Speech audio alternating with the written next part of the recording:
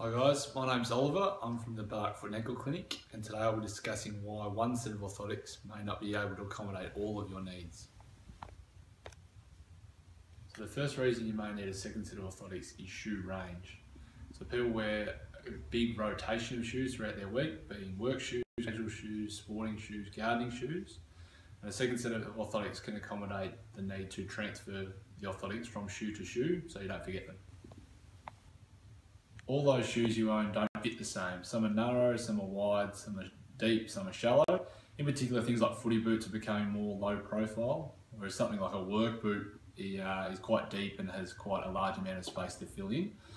Modifications and adjustments can be made to the orthotics and how they fit um, to accommodate these change in fit. So if you require orthotics, your podiatrist will prescribe them um, to accommodate the activity you perform most of the time, as well as what they believe is contributing to your pain pathology.